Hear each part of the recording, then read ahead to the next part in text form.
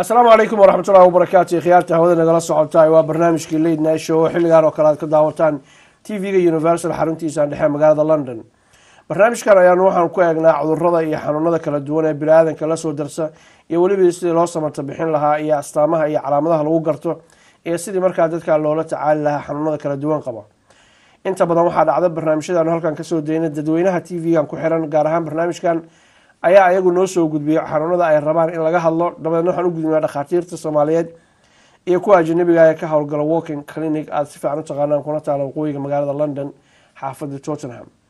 Markaa kadibna waxaanu keenaa dhakhtarka markaas barnaamijkaas diyaarka oo hameenkaas nagala qeyb galo oo markaa aqoon dheeraada oo si daawadaha adiga weeyaane looga qanciyo wixii markaas la halmaala mawduuca caawa laga hadlayo hameenkaa laga hadlayo sidaa awgeed barnaamijkan ayaanu caawa waxaanu jecelnahay inaanu ku qaadaa dhigno xanuunka loo yaqaano cagaarshowga amase habititis b n c marka afka qalaad lagu eego. Kaasoo waayahan dambe faro kulul ku hayay mujtamaca soomaaliyeed gaar ahaan dadka hadda halkaan nala jooga. Intaan anigu ogahay dhakhaatiirtuna kole ayagaa noo sheegi doono dadka la xiriira bukaanka arka. Laakiin dad fara badan faro kulul ku haya aanu jecelnahay insha allahu tacala bulshada soomaaliyeed inaanu ka wacyigelino waxyaalaha lagu garto calaamadihiisa waxa keena sida loogaga samato bixi karo daawooyinka la qaato iyo umuuraha noocaas la xiriira. Haddaba caawa waxaa barnaamijkan igugu martiya. Doctor cabdulqaadir maxamuud oo loo yaqaano ama ku magac dheer jaziira oo si fiican u taqaanaan oo dhakhaatiirta rogcadaaga ee ka qeyb gala ka howlgala walking clinic oo si fiican u taqaanaan. Aad iyo aad uga mahad celinaya waqtigiisa isagoo xilligan ka soo baxay shaqo. Doctor aad baan kuusoo dhaweynaya bismillahi raxmaan raxiim cabdi xafiid waa dhowdahay waa soo dhowahay wasalaamu calaykum waraxmatullah calaykum assalam waxmatulah barkatu doctor intaanan mawduuca u guda gelin waxaan jeclahay dadkuna mar walbana weydiiyaan dhakhaatiirtan hagee laga helaa macluumaadkooda. Markaan jeclaan soo dayna xayeysiin yar oo idinka idinku saabsan daawasha wacan. Baa bulshaweyn soomaaliyed la socodsiinaya in xarunta caafimaad ee Somali Doctors Medical Center ee ku taala Tottenham High Road. Ee ku dhegan masjidka sunna loogu talagalay in dadka lagu daweeyo guud ahaanba cudurrada guud iyo cudurrada carruurta iyo cudurrada haweenka. Intaasi waxaa dheer in xaruntaasi ay ka howlgalaan ilaa iyo saddex iyo toban dhakhtar oo soomaaliya ajnabi isugu jira loogu talagalay inaa lagaga buuxin karo foomamka la xiriira qaadashada laysimada tagaasida b c o-ga iyo weliba basaska iyo weliba waraaqaha kale caafimaada dadku ay u baahan yihiin. Meel kastoo aad joogtaan bulshooy dhakhaatiirtu waxay kugula hadlayaan afkii hooye soomaaliga somali doctors medical center. Waxaa kaloo ugu talagaleen goobtaasi gudniinka wiilasha iyo weliba dadka doonaya inay membership ka noqdaan amaba xubin buuxda xaruntaasi boqol iyo konton qoysku sanadka oo dhan iyagoon ballan u baahnayn in la daweynayo iyadoo weliba qofka shakhsigaana boqol iyo labaatan uu isku diiwaan gelin karayo yaalna moogaan meel kastoo aad joogtaan intaan sheegay iyo ka badanba inaad ka faa'iidaysataan dhakhtarada saddex iyo tobanka kor u dhaafay ee somali doctors medical center tottenham high road oo ku dhegan masjidka sunna. Wixii faahfaahina kaashada waa hagaag doctor mar labaad ku soo dhaweynayaa mawduucan caawa ka hadlayno bal noo qiix marka hore bismi illahi raxmaani raxiim cabdixafiid waa ku salaamay. Daawadayaasha guudna waa salaamaya meel walba ay joogaan. Asalaamu calaykum waraxmat ullahi wabarakaatu mawduuca waanu ka hadlayno waa hepatitiska cagaarshowga ama beer hurgunka marka soomaaliya aynu ku fasirno. Waa cudur aada iyo aad ma arkeysaa halis u ah. Dhibaato fara badanna geysta. Kuna badan wadamadan la yiraahdo sabsaxara saxaraha ka hooseeya wadamadan la yiraahdo south east asia bariga iyo koonfurta asia yurubta bari iyo tan koonfureed intaba. Marka cudurkan waa cudur halisa saasuuna adduunyado dhan ugu faafsan yahay meel hadda uu mataqaanaa uu ka maran yahayna ma jirto. Guud ahaan marka cudurkan hebatiska ama cagaarshowga ama haddii aynu af soomaali ka dhigno aynu dhahno beer hurgunka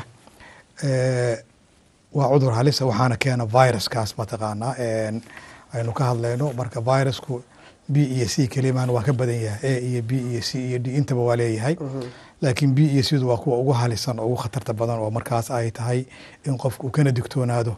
Lagana la tacaalo ma arkeysa waa gartay.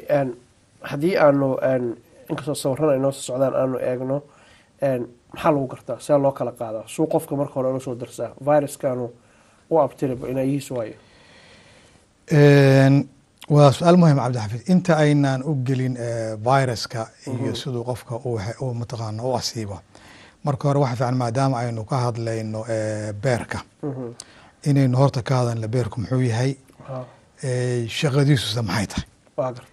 Markaas baynu imaanaynaa dhibaatada ku dhacda iyo sidii markaa dhibaatadaas ma arkaysaa waa inoo imaan doona sawirka beerku beerku waa xubinkaas weyn oo halkaa midigta oo dhinaca sare mataqaana uurku jirta ku jira ilaa iyo dhinaca mataqaana bidixda soo gaara. Shaqooyin badan buu marka beerku qabtaa oo ay ka mid tahay inuu ka qeyb qaato kow difaaca jirka. Difaaca jirka aafooyinka iyo cudurrada ku dhacay uu ka difaaco wuxuu kaloo ka qeyb qaataa xinjirowga dhiigga inuu xinjiro sameeyo oo dhiigga uusan dareere iska noqon oo ma arkaysaa haddii nabar kugu dhaco waad arkaysaa wax yar kabacdi dhiiggii waa istaagaya waa isxiraya xinjiraha samaysmahaya beerku qeyb weyn buu ka qaataa.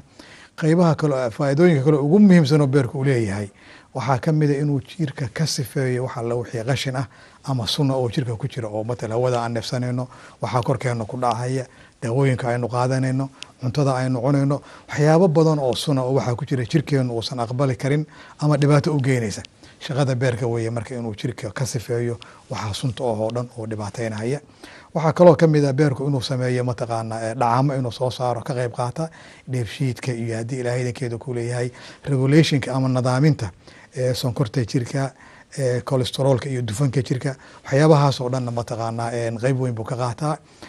Faa'iidooyinka kale oo leeyahay waxaa ka mid a inuu kaydiyo enerjiga ama mataqaanaa tamarta aynu u baahannahay oo waad artay qofku markuu cunto cuno oo subaxi uu quraacdo ilaa qadada uu ka gaarahayo enerjiga uu ku shaqaynayo waa energy beerka u kaydiyo. Mar waxaa jiri kadha marka beerku markuu jirado uusan kaydkaa samayn karin. Oo markaa jirkii markuu u baahdo inuu energy ama tamar la yimaado markaas muruqyadiisii uu dib ugu noqono jirkii markaa isagoo iscunahayo marka faa'iidooyinkaas oo dhan buu horta beerku qabtaa. Haddii aynu u nimaadno marka cudurkani muxuu yahay beer hurgunka ama cagaarshowga. Cagaarshowga waxaa keena viruskaas virusku marka waa noole aada iyo aada u yar ishana aan lagu arki karin microscoobyadan caadigana aan lagu arki karin. Oo u baahan microscope special ah oo gooni ah oo loogu talagalay marka waa virus ka yar bacteriyada aada iyo aadna uga sii yar boqolaal jeer microscopeka khaaska ahna lagu arki karaa. Marka wax inagu aynu dareemi karno ama aynu arki karno ma ahan. Ayib maadaama uu marka sidaas yahay see laysu qaadsiiyaa marka. Intayna gelin calaamadihiisu maxay yihiin? See la isku qaadsiiya oo viruskan seebuu qofka u dhibaateynaya ama jirkiisa u soo gelaya waxay ku xiran tahay marka qof cudurkii qaba dhiiggiisii ama dhacaankiisii in qof caafimaad qaba ay gaaraan oo dhiiggiisii iyo dhacaankiisii ay isgaaraan qof jiran oo viruska uu korkiisa ku jiro dhacaankiisii ama dhiiggiisii in qof caafimaad qaba dhacaankiisii ama dhiiggiisi ay saabtaan oo ay gaaraan. Waa marka waxa weye halkaa waxaynu ka fahmaynaa virusku waxa uu ku badan yahay oo ku nool yahay oo ku jiraa dhiigga iyo dhacaanka qofka siiga oo kaleeto. Markaynu wuxuu ku badan yahay oo xoog ugu badan yahay dhiigga biiga oo kale wuxuu aada ugu badan yahay dhacaanka qofka fluidka qofka jirkiisa ku jira iyo dhiigga intaba markasta laakiin saasay ugu kala badan yihiin. Taas baad marka waxaad arkaysaa sida loo kala qaadahayo siiga oo kale inuu ku badan yahay dhiigga qofka dhiig lagu shubay qofkii jirana oo dhiiggiisii dhiiggaagii uu gaaray. Baynamaa siiga oo kale biiga oo kale uu ku badan yahay dhacaankii qofka ma arkaysa ayib markii qofkii viruska qabay dhacaankiisii ama dhiiggiisii uu gaaro qofkii kaleeto. Dhacaankiisii ama dhiiggiisii. Viruskii marka waa uu soconayaa dhiiggiibuu raacaya circulationkii wareegii dhiigga. Dabadeed beerku tegaya marka. Viruskii marka uu beerka tago noolahaas yar oo aynaan arki karin beerkii marka uu tago oo unugyadii beerka uu galo uu ku tarmahaya marka uu ku tarmo dabadeed halkaas marka dhibaatadii ka bilaabahaya dhibaatadiisu maahan marka mid soo boodeysa waa mid u baahan wakti dheer inuu qofku ma arkaysa la jiitamo oo la socdo. Markaas kabacdi buu arkahayaa dhibaatooyin ka soo baxayaan. Maxaa lagu gartaa calaamadihiisa marka hore oo virus qofka uu ku dhaco oo qaabkaa aynu sheegnay uu ugu dhaco oo wareegii dhiigga uu galo oo beerka gaaro oo markaas qofkii uu noqdo qof jirkiisii viruskii uu ku jiro ama cudurkii uu ku jiro waxaa dhici karta qofki inuusan waxba dareemin. Qofki inuusan waxba dareemin oo wax cudura iyo wax dhibaata uusan dareemin. Waxaa dhici karta inuu dareemo sida cuduradan ma arkaysa hargebka iyo fuluuga iyo qabowga iyo waxaasoo kaleeto. Inuu dareemo xoogaa qandhayar muruq xanuun mataqaana xubnaha oo xanuuna tabardaro yar oo mataqaana caajisnimo uu dareemo wax noocaasa ma arkay baa dhici kardha inuu dareemo inuusan dareeminna waa suuragal. Marka waxaa weeye marka qofka viruska uu ku dhaco bil ilaa afar bilood inta udhaxaysa baa dhici kardha inuu calaamadahaas uu dareemo oo lamida wax kastoo sida hargebka kugu dhacay kaleeto. Waan wax isaga markaas aan khaas aan ku ahayn. Bil ilaa afartaa bilood qofkii wuxuu dareemahaya calaamadahaas buu arkahaya markii virusku uu jirka ku dhaco waxaa jira waxa la yidhaahdo taariikhda nolosha ee cudurka.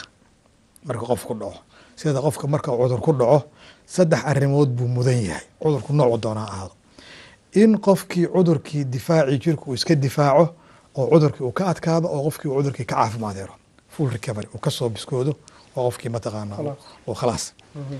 in cudurkii uu u keeno dhibaato uga tago qofkii oo uu ku reebo mahadho ama waxaa la yidhaha mudaacafaad ama complication cudurkii qofkii waa iska dhiciyey waa ka tegey laakiin wuxuu ku reebay aafo mahadha oo aan raad reeb buu uga tegay ma arkaysaa. Ama qofki inuu u dhinto saddexdaa arrimood buu mudan yahay oo la yidhaahdo mataqaanaa taariikhda cudurka qofka marka uu ku dhaco. Cudurkan marka hadda aynu ka hadlayno marka qofka uu ku dhaco oo uu beerka tago lix bilood gudaheed lixdaa bilood oo ugu horeysa waxaa la yidhaahdaa xaalad taagan oo qofki markaas jirkiisii iyo difaacii jirkiisii uu u taagan yahay inuu cudurkii iska cabiyo o iska dhiciyo xaaladaas marka waa xaalad taagan ama mataqana afka ingiriiska lagu yihahdo acute face oo qofkii difaaciisii uu taagan yahay. Lixdaa bilood marka qofkii haddii uu jirkii cudurkii ka biskoodo oo viruskii jirkiisi iska saaro waxa weyan waa u ka biskooday waa khalaas. Haddii lixdaas bilood marka qofkii uu dhaafo oo viruskii jirkiisa weliba ku jiro wuxuu u gudbahayaa xaalad coronig ah. Oo qofkii ma arkaysaa uu la noolaanayo cudurkii oo cudurkii jirkiisa uu ku jiro xaaladda coroniga marka marka qofka uu gaaro oo xaaladii taagneed ka baxo xaalad joogtaa uu galo oo jirkii cudurkii uu jirkiisii ku jiro qofkii marka wuxuu mudan yahay dhowr arrimood. Arrinta koowaad cudurkii jirka difaaciisii inuu xakameeyo cudurka inuusan faafin. Viruska jirka waa ku jiraa waana dhibaateynahayaa laakiin difaacii jirka wuxuu awood u yeeshay inuu xakameeyo oo ka ilaaliyo viruskii inuu ku tarmo beerki jirkii taas waa mid ama inuu xaaladda marka xaaladdaa waxaa dhici karta qofku inuu muddo la noolaado. Labaatan sano toban sano soddon sano matal sida hibataatsiga oo kaleeto ilaa labaatan sano inuu jirkii ku jiro oo cudurkii beerkii uu ku jiro qofkiina uusan waxba dareemeynin la soconin. Wax meeloo ku xanuunayso aad leedahay halkan virus hepatitis b baa iga haya ama c baa iga haya ma jirto. Laakiin hawl baa gudaha ka socota. Marka waa taa midda aan rabo dadka maanta caawa daawadayaasha ah inay ogaadaan. Yani cudurkan isagoo aamusan oo aadan dareemeyn yuu ku dilahaya oo ku guranahaya oo ku jarahaya ma marka waxaa dhici karta xaaladda marka ay saa ku socoto oo muddadaas toban sano shan iyo toban sano labaatan sano la gaaro markaas in calaamada muuqda calaamadihiisi marka ay soo baxaan xilliguu ku dilooday. oo markaas maxay yihiin calaamadihiisii indhihii ku casaada mataqaana cagaarka ku noqda. Actually waxa weeyaan maaqan soomaalidu midabada say ma arkaysa. Hadda waa yellow bu ingiriiska yellow bu wuxuu noqonaya hurdi. Hurdi buu noqonaya. Cagaar ma noqonayo. Marka taas waa waa yellow marka wax loo yidhahdo marka hurdi buu noqonaya indhihii baa hurdi noqonahaya musawiradii waa ficnaan lahayd inay mataqaana ay noo soo indhihii hurdi bay noqonahayaan. Qofkii miisaankii baa ka dhacahaya. Abititkiisii baa cuntadii baa lumhayo cunto badan ma qaadan karo. Qofkii waa daal joogta ahaa mataqaana kaasu waxa weyan waa masawirkii beerka aynu ka hadlaynay. Oo beerka aynu ka hadlayna waa xubinkaas weyn. Oo halkaa ku yaalo dhinaca midigta oo qaarka sare ma arkaysaa uurku jirta. U badan ma arkaysaa. Beerkan ilaahay waxyaabaha uu ku manaystay waxaa ka mid waa xubin aada iyo aada u adag. Oo adkaysi badan oo waxa weeyaan dhaawacii gaara isla markiiba wuxuu ka sameeyaa reber bu iska sameeya isagaa ismataqaana isagaa isbiskoynahaya waa isbiskoynahaya wixii ka lumay unugii ka dhintay isagaa isnoolaynahaya maarata kaas waa kaneecada oo kaleeto oo maarkaysa waddamada hadda soomaalida iyo mataqaana sab saxaaraga ah u badan inay qofka u kala gudbiso cudurkii. Oo qof dhiigga qaba ma arkaysa hebatiska qaba. Haddii ay dhiigga ka soo qaado mid kale mataqaana waa suuragal inay u gudbiso ma arkaysa waa waxyaabaha maarata marka aynu u soo noqono arrintii hore oo ahayd calaamadaha. Taas waxa weeye waa waxyaabaha lagu kala qaado. Waa inoo iman doontaa siyaabaha lagu kala qaado oo maarkaysa irbadaha dadka daraagiska wadaagaan. ay wadaagaan maarkaysa waynu ka hadli doonaa ah, qaabka loo kala qaadsiiyo. Marka waxaynu ka hadlay maxaa maxaa lagu gartaa qofkii marka xaaladda coroniga uu gaaro oo indhihii ay cagaar noqdaan ee yellow noqdaan ee mataqaanaa hurdi noqdaan miisaankiisi uu dhaco cuntadii uu qaadan kari waayo abitaadkiisi uu lumo xanuun joogtaa iyo daal qofkii oo dhan baa wuxuu noqon hayaa qof iska bukaan socda iska dulugla ah. Waa jiran yahay waa u socda laakiin waa dulugle ma tabar ma haya badan. Waxaa dhici karta inuu mataqaanaa markii xaaladdu sii socoto oo fogaato sidaan musawir ku arki doono in qofkii biyo galan calooshiisii. Oo ilaa labaatan soddon litir laba tanag oo biyo ah baa qofka calooshiisii gelahaya maarta jirkiisi gelahaya maarta. Jirkiisii qofkii muruqiisii oo dhan baa idlaanhaya wuxuu noqonayaa maqaar iyo lafa dariiran ma arkaysaa. Calaamadahaas marka waa calaamadaha ugu dambeeya oo qofka ma arkaysaa. Markii qofka uu diloodo oo uu soo rogto oo soo mataqaanaa diloodo ma arkaysaa. Oo qof uu gaarahaya maarta laakiin su'aasha ah marka hore haddii cudurka igu dhaco maxaan ku garanaya? Waxaad ku garan kardhaa ma jiraan. Calaamadaha iska yareerka oo sida hargab hargab oo kaleeta maahane wax calaamado aad ku garan kardho ma jiraan. See marka lagu garanaya waxaa lagu garanaya laba arrimood. Inuu qofka soo rogto oo markaa cudurka markaa soo soo soo rido iyo in si accidentala lama filaana iskuma taalla qofka uu dhakhtarkiisa ugu tago oo dhiig laga qaado oo markaa la baaro. Oo la raha okay dhiiggaaga waxaa ku jira eh, cagaar shoog iyo hepatitis b iyo c baa kugu jira ma arkaysaa oo si aan loogu talagelin ama ma arkaysaa een, laga baaray si routine mataqaana caadiya ama qofku inuu markaas yani uu isagu dalbada ma arkaysaa waa sidaas wey siyaabaha ma arkaysaa lagu garan karaa ama ma arkaysaa lagu ogaan karaa laakiin calaamad aad ku garanayso aad leedahay halkan ay xanuunaysa ama xagga ay xanuunayso oo hepatitis b iyo c ba ahay ma jirto. Waa gartay taa waa marka waa calaamadaha lagu kala garto kala qaadistiisa hadda waxaad tilmaantay arrintii eh, kaneecadoo kale iyo irbadii oo kale. Warbaa dadka wada nool oo oo ninka iyo xaaskiisa Eh, caruurtaada ma ku dhalan kartaa waa su'aal aad iyo aad u fiican. Taa marka waxay noqonaysaa sidee baa cudurkii lagu kala qaadaa? Maadaama aynu dhin cudurkii waa noolahaas yar oo aynan arki karin aynan dareemi karinna. Mhm. kuna tarmahaya dhi- dhiig beerkii ku tarmahaya dhiiggii iyo dhacankiina la socda. Waxaa shardiga marka si loo kala qaado qofka cudurka qaba dhiiggiisa iyo dhacaankaagu iyo dhiiggaaga iyo dhacaankaagu inay isgaaraan si aynu u sahlno dadka mataqaana qofka daawadaha u fahmo. Mhm. see marka laisu kala qaado kow waxa ugu horreeya oo lagu kala qaado waa galmada. Labada qof oo isu taga oo isu galmooda. Taa galmada marka waxaa ugu badan markaan labada cudur kala qaadno dhacan kula oo dhacaanku la socda. Kaasaa ugu badan. Oo waxa weeyaan wuxuu xoogiisu yahay eh, shahwadii eh, ninka ama dhacaankii mataqaanaa gabadha ama haddii ilaahay idankeedu ku leeyahay candhuuftoodii ma arkaysaa eh, ayuu aad iyo aad ugu badan yahay. Iyo dhiiggii oo waxaa weeye qofkii marka eh, hepatitis b qaba. Hadduu markaa qofaan qabin u galmoodo asiisa uusan isticmaalin wixii uu isku difaacahay oo sidii mataqaana galcaarkii oo kaleeta ama haddii ilahay idinkeedu kuliya baariyarkii haweeneydu ay gashanaysa marka aysan rabin is- marka ay isdifaacayso haddii marka qofki uusan isdifaacin oo waxaan la yidhahda unprotected eh, galmo aan difaac lahayn. Mhm. qofkii markuu galmo aan difaac lahayn uu u sameeyo qof qaba hepatitis b-gii waa u gudbahaya automatic waa isgaarsiinaya Mhm. kow taas marka waa dariiqa ugu horreeya oo galmada laba waxaa dariiqa ku xiga waxa weeyaan waa musawirka hadda aynu arkaynay irbadda la sheergaraynahayo oo dadka daraagiska isticmaala ay mataqaana isku dura ay qaybsanahayaan oo sheergaraynayaan wadaagahayaan cadayga iyo garxiidha ka war Een, cadaygii baa ku jira oo la sheergareeyo. Garxiidhii baa ku jirta oo la sheergareeyo. Maqaska haddii ilaahay idankeedu ku leeyahay nimankan timaha xiira ama mataqaanaa qof mataqaanaa qaba oo isticmaalay. Sababtoo ah viruskii matalan maxay tahay marka macnaheedu? Matalan cadaygii buu qof ku cadayday Mhm. qaba hepatitiski waa garta ama garxiidhii buu mataqaanaa La wadaagay. oo dhiig yar ku haray. Yacni virusku wuxuu ku noolaan karaa ugu yaraan lix iyo toban saacadood.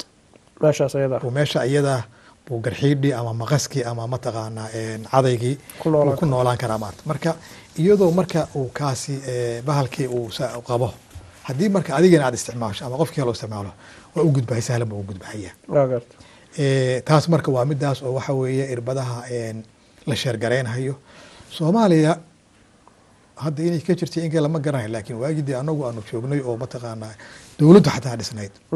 Waxyaabaha ugu badan oo lagu kala qaado viruska waxaa irbadaha isbitaalka iyo farmasiyaasha yaalla oo aan si fiican eh, la wadaaga oo si waa loo wadaagahayo oo irbadii markii qof lagu mudo halkan baa biyo lagu ridaya waa la karkarinhaya kabacdi waxaa dhici karta in mid kale lagu mudo. Iyadoon si fiican loo karkarin si fiican loo nadiifinin.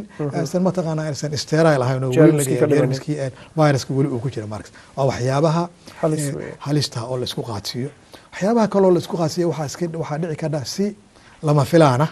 Howlwadeenada caafimaadka isbitaalada ka shaqeeya takhaatiirta ama neeriska ama mataqaana health workerska ka shaqeeya inay qof virus qabay oo irbad mataqaana lagu muday inay isagii si khaldan mataqaana accidentala. Ay ugu dhacdo dhiiggiis u gasha maarkaysa iyaduna waa waxyaabaha maaragtay lagu kala qaado. Waxyaabaha kaloo lagu kala qaado waxaa ka mid a een, hooyada uurka leh oo caloosha mataqaana ilmaha ugu jiraan in ay qaadsiiso ilmaheedii yaraa weliba waxaa ka ah halistaas ugu badan mataqaana b-ga inay u gudbiso. Oo mataqaana isagu hundred percentage marka ay dhalayso inay u gudbinayso. Taas baan marka waxaan kula dardaarmaya gabdhaha gabadhi uurle oo viruskaas qabta inay dabcan dhakhtarkeeda ay la soconaysaa laakiin in ilmaha isla markiiba in la tallaalo oo laga tallaalo. ma arkaysa Een, isagu een, hepatitis c-ga aad iyo aad buu u yaryahay. In dhinaca galmadana loogu gudbiyo dhinaca uurkana loogu gudbiyo oo hooyada gudbiso waa dhici karnaa waa suuragal. Laakiin waa percentage aad iyo aad iyo aad u yar. One to two percentage. Yani boqolkiiba hal ama labo. Baa dhici karta labada qof oo wada nool oo midkood hepatitis c qabo inuu u gudbiyo hepatitis C kii kaleeto. Baynamaa qofka hepatitis b qaba uu qofka kale oo lamaanihiisa ah uu si sahal ugu gudbin karo hepatitis b gi saas ku kala duwan yihiin marka. Hepatitis c ga marka isagu eh, waxaa ugu badan eh, wadamadan hadda aynu joogno innaga hadda wadamadeena eh, caalamataaliska oo kaleeto. Waxaa ugu badan dhinacaas hooyada uur kale mataqaana een, nabar inta kugu dhacay mataqaana eh, bir iyo ma arkaysaa irbad oo isticmaalay iyo waxaa ma arkaysaa. Een, galmadaas lagu kala qaadahayo halkan waxaa ugu badan eh, irbadaha ma arkaysaa. Dadkan eh, drugs addictka iyo dadkan khamriga caba iyo dadkan hoylaawayaasha ma arkaysaa. Baa ugu badan ma arkaysaa. Oo iyagu markaas wadaagahaya irbadaha ma arkaysaa. Iyo dhiiggan la isku shuba ma arkaysaa qof eh, jiran oo ma arkaysaa eh, dhiig eh, Blood transfusion- qof dhiig lagu shubay ma arkaysaa inkastoo wadamadan aad iyo aad ma arkaysaa arrimada loo laakiin caalam taaliska oo kaleeto ama meelaha inu ka nimid waxaa iska dhici kara daryeelka noocaasi. Inuu yar yahay oo qofkii markaas yani dhiig aan la hubin lagu shuba ma arkaysaa sida marka guud ahaan loo kala qaado oo qof aan qabin hepatitis b ama c uu u qaadi karo waa noocyada aynu soo sheegnay maaragta waa gartay Eh, doctor haddaa wax ka dhawaajisay beerka markaa ka hadlaysay eh, waxyaalaha uu beerku ka shaqeeya waxaa ka mid ah inuu dhiigga xinjiro u yeelo.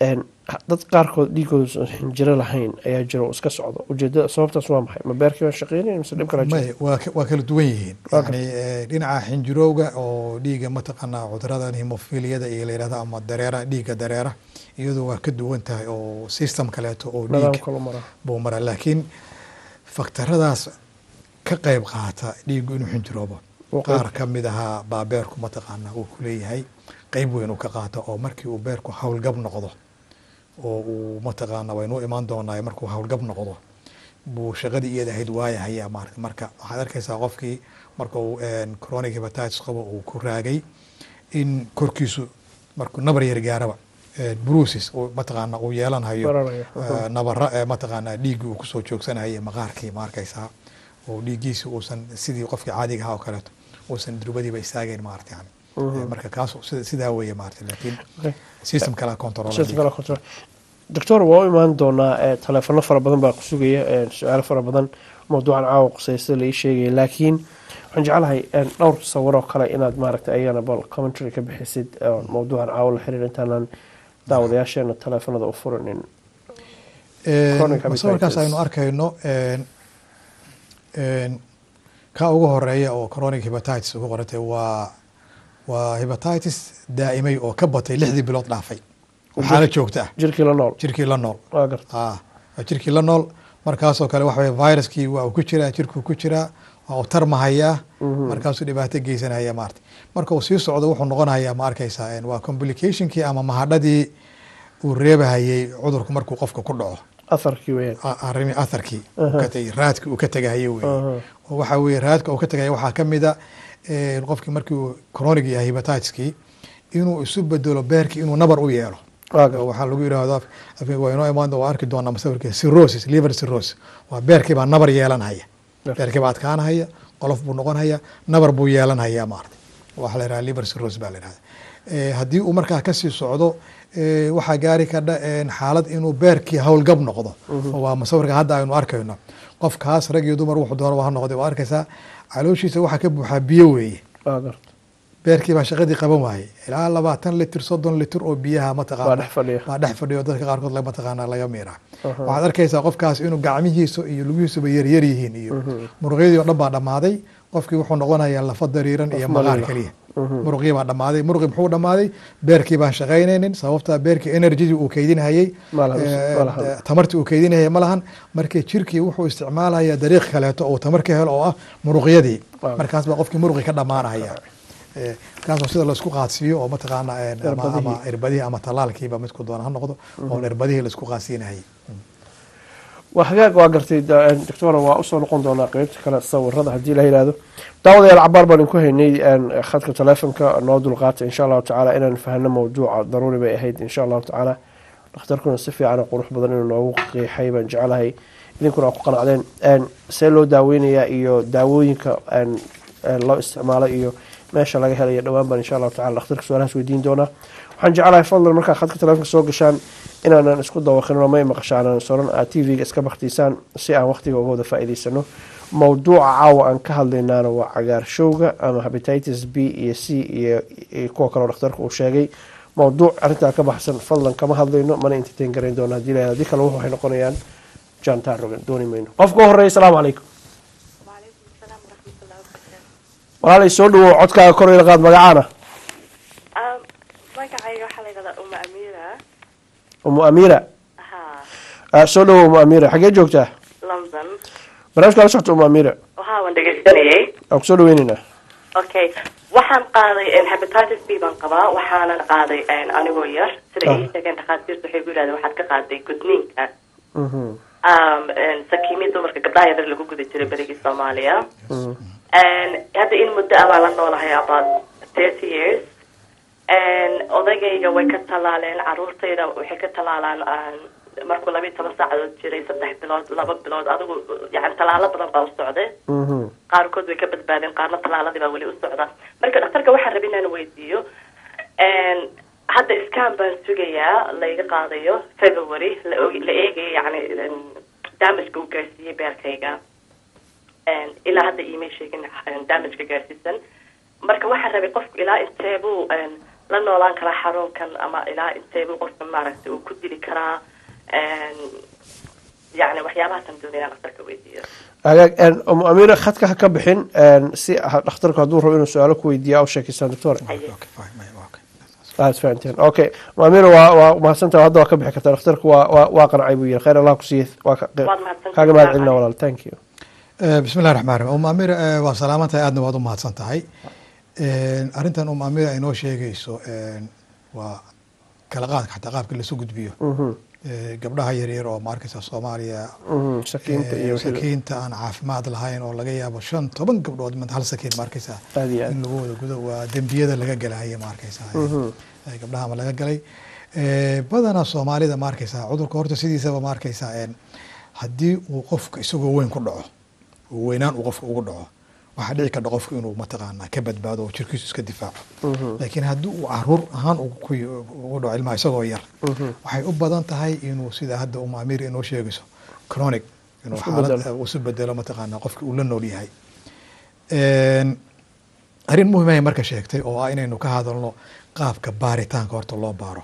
Iskaan baa ballansan bay tiri. Een, waxaa dhici karta umaamira inaysan iska warqabin aysan ogeyn laakiin markii ay uur yeelatay ugu horreeyey haddii ay waddanka joogto oo la yidhi markaa dee routiinkii baa lagu sameynaya baaritaankii lala socda gabdhaha uurka leh in markaasi accidentala loo helay. loo arkay oo la yidhi waxaad qabtaa hepatitis b baa qabtaa watan odaygeena laga tallaalay oday in caruurtan laga tallaalana waa procedureka wadankan ka jira. Qofka hepatitis b qaba qofka la nool ama ha ama lamaanaha ha noqdo ama carruurta ha noqdo ama qofkii kale oo ay hal meel ku wada nool yihiin in laga wada tallaalo dadka halkaa ku wada nool oo dhan waa shay procedure wadankan laga isticmaalo maarata baaritaanka marka qofka loo sameeyo kow horta dhiiggaa laga baarahaya oo qofkii dhiig baa laga qaadaya. Marka dhiigga laga baaro haddii marka purposely yani qasad marka la rabo in la ogaado qofkan hepatitis ma qabaa mise ma qabo oo saas dhiigga loo amray oo dakhtarku u dalbaday dhowr arrimood baa la fiirinaya. Kow ma qabaa qofkani viruska. Su'aasha marka waa yes iyo no bay noqonaysa. Hadduu qabo jirku difaac ma ka samaystay oo difaac ma sameeyo oo waxa la yihahdo antibody ma sameeyo qofku difaacu iska difaacayo.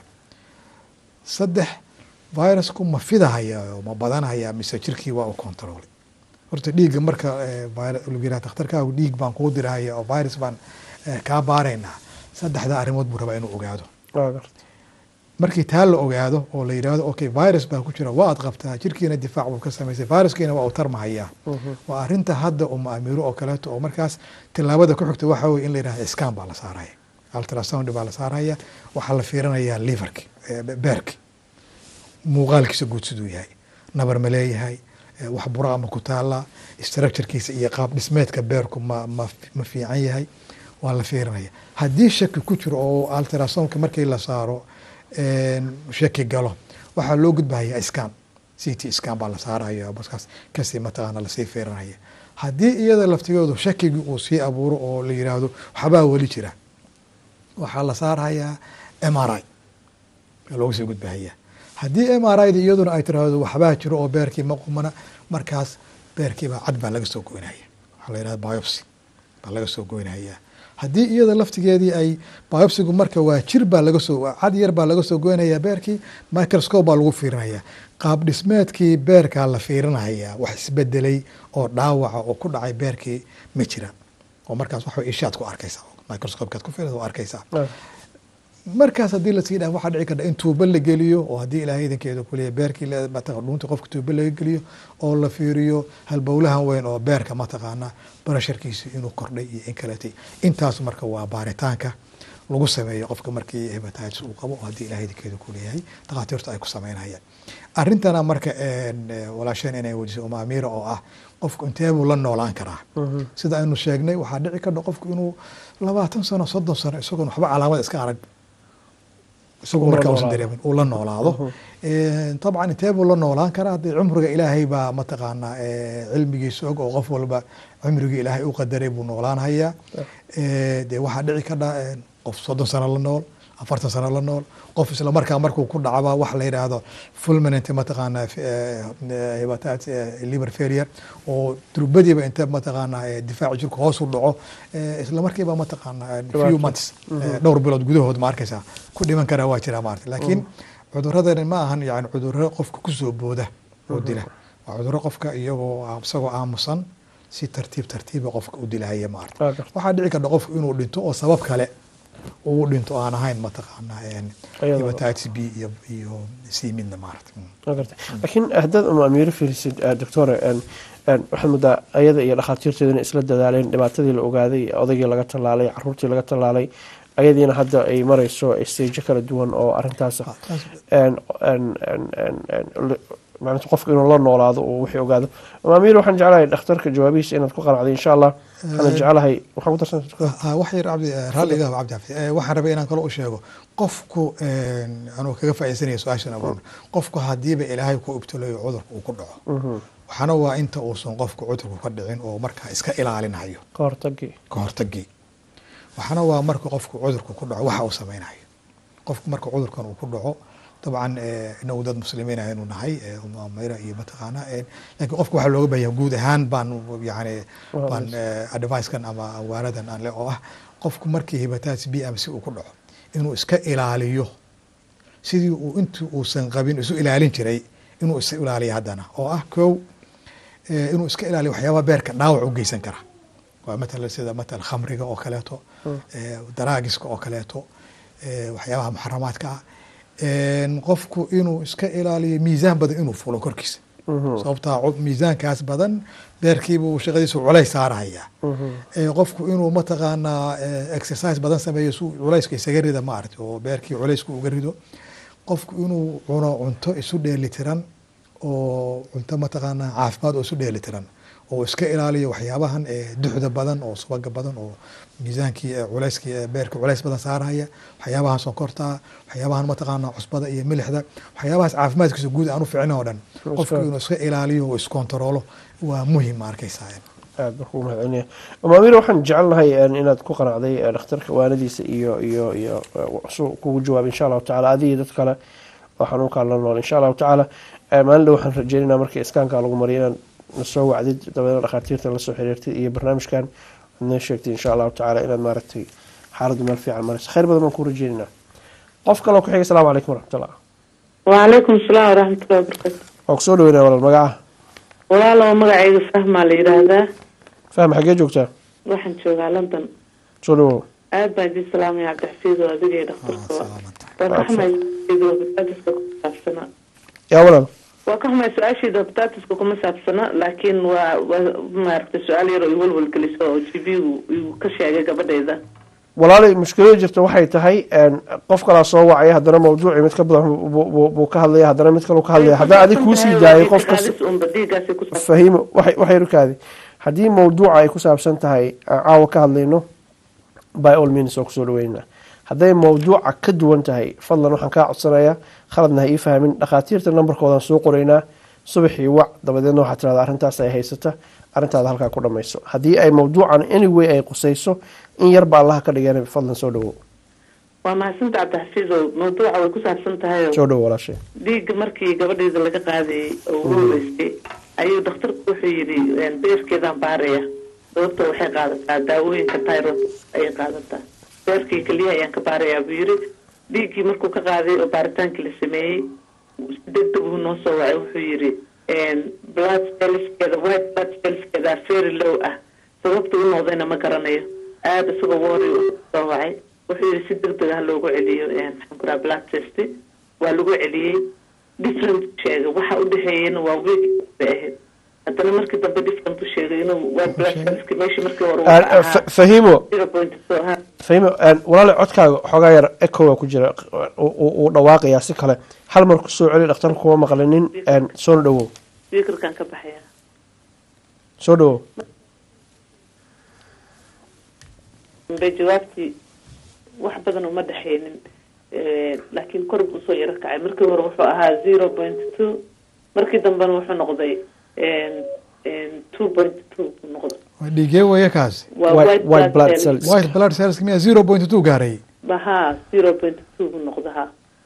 Markii hore uu dhakhtarku isagoo maaragtay aada u yaabana soo wacay. Markii dambena markii dambe wax wiigiyo bar ka dambeysana wuxuu noqday two point two. Welina aada buu sii hooseeya de hade marka si hadiiba intaa ugu soo kici karo baa waxyaabla igu noqotay micnaha calaa ayati xaal haddee kolley marmarka qaarkood waa iska dhici kadhaa khalad laabka ka dhaca inay tahay laakiin inta hadda aad sheegayso zero point three iyo mataqaana two point three intuba aad iyo aad bay u hooseeyaan white blood cellska. Marka inaad dhakhtarkaaga la xidhiidho arrintaasi xoog mataqaana xil weyn laysaga saaro wey adiga iyo dhakhtarkuba maaragta Ya, marka aad iyo aad waa in xil laysaga saara oo maxaa wel haddee cudurro badan baa keeni kara. Cudurrada dhiigga ku dhaca keeni kara cudurrada infection baa keeni kara. Laakiin dhiiggaas cadow saa u hooseeya aad iyo aad buu hooseeyaa maarata waa ah hooseeya aad buu hooseeyaa two point two waa hooseeya. Adigu ilaa mataqaanaa five baa ugu yar. Waa inuu five meelaha gaaraa minimum. Five iyo wixii ka sarreeya maarata marka inta aad buu hooseeyaa dhakhtarka la xiriiro waa in arrintaas la helaa sababta ma arkaysa ay keentay hagaag. Fahiime aad baa mahadsantahay taayarna caafimaad waara ayaan u rajeynaa mahadsanid ka qayb qaadashadaada. Khad kale ku xiga asalaamu calaykum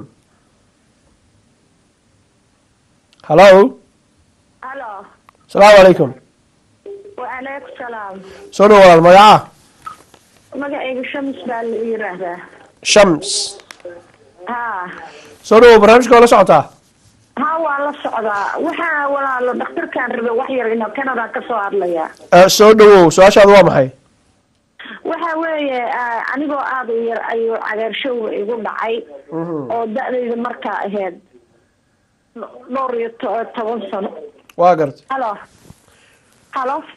Waa ku maqalnaa si wacan. Ha haye oo ani intuu ilaha shamis baa lay dhahaa markay Ah. dadka aan nidhaahno t v-ga iska naaqusiya ama qolkuu ka baxay ka wax nooga jeedna walaalo eh, t v-ga haddaad iska waktiisi ka war marka hore. Waa bakti waa waaba ka soo tegay kanadu iigu dhacay xanuunka. Kusoo soomaaliya anoo gabar yar ah. Mhm. marka ilaa iyo intii aan soomaaliya joogo aan soo koray ilaa aan canada imid canada hadda waxaan ku noolahay toddobiyo toban sano dhakhtarada intaa way ibaaraan hooyadaydaa neerseed markaan yaraa marka aada iyo aada cirbado igala daashay marka ma garan mar kastaba waan baaraaye marka xanuunkaasna aad baan uga cabsadaa saaxiibadaydu ku dhacay oo hataa cirbado laba sano isku dureysay marka ani waxay leeyihiin ma qabtid cagaarshoona wuu igu dhacay man hore. Dhiigayga dhakhaatiirta waxay leeyihiin waxba ma aragno. Marka intaasaan rabaa inaa ii weydiisid marka haddii dhakhaatiirtaadii kanada joogtay ay ku dhaheen xanuunkii ma qabtid su'aashaadu waa maxay marka? Su'aasheeda waxa weye dhiigga markuu dadka ku dhaco ma dhiiggaa laga arkaa maxaa laga arkaa? Inaan yani iska eego weeyaan. Dadkaan had intay ku dhahayn ma qabtida mardama kuleeyihin adaa hoogtay oo bacday marka inaan si fiican isaga baaraan dhakhtarka soomaaliga si fiican u weydiiyey. Waa mahadsan tahay doctor raadinaysaa. Eh, shamis waa waad salaaman tahay haddii programka bilowgiisa aada la socotay waxaynu niri qofku cudurku marka uu ku dhaco ilaa lixda bilood oo ugu horeysa difaaca jirka la dagaalamo cudurkii. Eh, lixdaa bilood haddii cudurkii uu ka bixi waayo oo viruskii weli uu ku jiro markaa wuxuu u gudbahayaa xaalad mataqaanaa koronigo qofkii eh, dhiiggiisa uu ku jirayo way dhici kadhaa marka adoo yar in cudurku kugu dhacay hooyana ay kuu sheegtay. Eh, laakiin jirkaaga uu iska difaacay oo markaa uu ka dhamaaday ma arkaysaa. Eh, dhakhaatiirtu haddii aad tiraahdo ha la iga baaro hepatitis oo lagaa baaro oo laabka dhiigga loo diro dee waa la arkaya marka qofku inuu qabo hepatitis iyo inuusan qabin. Sabab marka eh, adoo qaba aan lagu lagu oranhayo ma qabtid eh, ma garan karo sababta arrintan waa arrin dee eh, public issue ah mataqaana oo mujtamacii laga badbaadinayo. Qofkiina waa la badbaadinhayaa mujtamacii dadkii kalena inuu cudurka u gudbiyo waa laga badbaadinhayaa ma arka. Marka eh, waxaan u malaynayaa mar haddii lagu yiri ma qabtid dee ilaahay iska tala saara ma qabtid eh, hana saatan dee bala aadan qabin ma arkaysaa. Waa hagaag. Mahadsanid doctor adiguna aad baa mahadsan tahay waa hagaag. Khad kaloo ku xiga asalaamu calaykum hallo asalaamu calaykum Ah, walaal soo dhawow kor u yara hadal fadlan magaca. Halo asalaamu calaykum wacalaykum assalam raxmatullah soo dhawow magaca walaal waa dhowahay magaca walaal faadimo maxamed faadima xagee joogtaa waxaan joogaa manchester waa ku soo dhaweyneynaa ilaah qir ha in siiye anna su'aal yar baan qabaa soo dhawow horta jirooyinka waxaan jecelnahay af soomaali in lagu sheego qir la in siiye waxaan ka hadlaynay cagaarshowga agaarshowga soo dhawow marka agaarshowga wax la isku daartamaya mase waxaad moodaa inaad eh, dib kala qabsatay faadimo maxamed ee barnaamijka. Ha maya haa dib baan ka soo galay laakiin markii af soomaali lagu sheegi waayaan nooga ah ifiri madhaa waa wax kale. Aada iyo aad. Laakiin hadda qoftii u dambeysay markaad soo cesheen markaasaan ogaaday khayr allah ku siiyo. Marka su'aashaada waxay tahay ma la isku gudbin karaa? Haa waa faadimo maxamed Eh, faaduma waa salaaman tahay waa ka xunnahay. Eh, caawa dhan waxaas ku dadaala inaad af soomaali aanu ku sheegno. Eh, cagaarshowga ama wixii aanu ka hadlaynay oo ama af soomaali haddaynu u raadino la yidhaahdo beer hurgun. Waxaa keena noolo yar oo aysan ishu qaban karin oo aynan dareemi karin oo virus la yidhaahdo waa la isu gudbiyaa waa la isku daartaayo. Sida la isugu gudbiyana waxaa ugu muhiimsan waynu ka hadalnay labada qof oo wada nool oo midkood uu qabo. Oo eh, ninka iyo mataqaana xaaskiisa. Eh, dadkan irbadaha eh, wadaago oo mataqaana daraagiska iyo waxyaabaha isticmaala daawooyinka isku muda irbadaha. Qof dhiig lagu muday oo mataqaana dhiig lagu shubay oo dhiig u baahday. Hooyo mataqaana qabto oo markaa ilmaheedii u gudbisay. Waxyaabahaas wey waxyaabaha mataqaana laisugu gudbin kara ama laisugu daartaa maaragta intaa wax su'aala ma ka qabtaa faadimo maxamed maya laakiin eh, sida gudniinka oo kale maxaa keenay marka gudniinka iyo gaarjoog maxaa isu keenay? Eh, gudniinka waynu ka hadalnay oo su'aashii hore eh, gabadhii kaa horeysay umu amiira.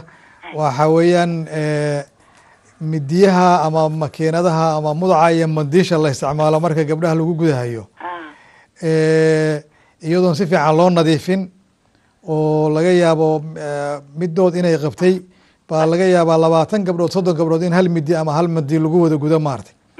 Saas bay isugu wada jirtay, gudbinahayaan waan ogeyn baadiyaha na lagu guday tabtaa unbay ahayd shan iyo lix iyo toban. Ya isku meel la isugu keenaya gabdhi ha oo islaan keliya meeshaas ay wax ku islaan keliyu hay gudayso hal madiil ay haysato. Oo mandiyaha aan af lahayn oo marba saas loo afayna aan xasuusanay Sa- saas baa laisugu qaadsiiyaa marka. Hay. Aad baa umahadsan tahay faadimo maxamed waaye kheyr laha insii intaa in ka badan waan ku wareejinaa faadimo maxamed from manchester. Waa hagaag khad kale oo ku xiga asalaamu calaykum calaykum asalaam waraxmatullahi wabarakaatu waa ku soo dhaweynaa walaal magaca? Xafid magacayga luula la yidhahdaa london aan ka soo hadlaa. Aad baan kuusoo dhaweynaa luul. Adiga iyo dhakhtarka waa idin salaamay. Mhm.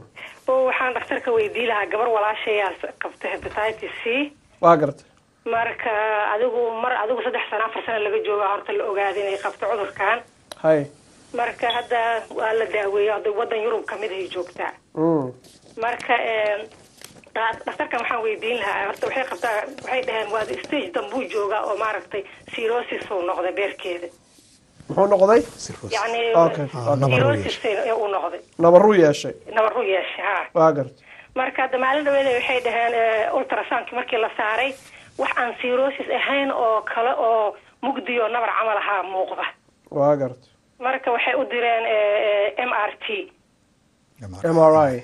Ya, baaritaan kale oo adiga la dhex gelaayo Mhm. markii loo diray asagana wuxuu yidhi weli shakiyaa jira oo meel baa wax mugdiya ka muuqda. Mm. midaas horta dhakhtarka waa weydii lahaa oo waxaas mugdiga yani cirrhosiskii oo meel iska isaguna haar kale miyuu noqon karaa? Mase dhib kala jiri kara? Waa su'aal midaas waa gartay midda kale waxaan weydii lahaa waxyaabaha brotiinka maray waxay dhaheen caanaha iyo waxyaabahaas ha laga joojiyo. Mhm. markii waxyaabahaas caa- caanihii iyo wixii brotiinka lahaa markii laga joojiyey aad ay tabarteedu u yaraatay.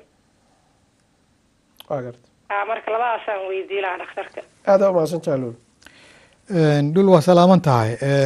Caafimaad allaha siiyo walaasha. Amiin waxyaabahan hadda sheegaysa waa baaritaanka aynu ka hadlaynay oo markii hadba mid la sameeyo oo shaki muuqdo midka kale loo gudbayo Een, marka hadda sida muuqata een, ultrasoundkii iyo iskaankii iyo m r i-gii intuba shaki bay muujiyeen.